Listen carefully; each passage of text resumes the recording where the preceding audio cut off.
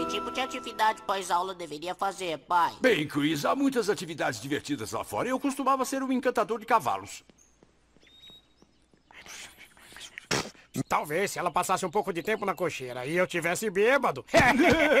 eu também não gostaria.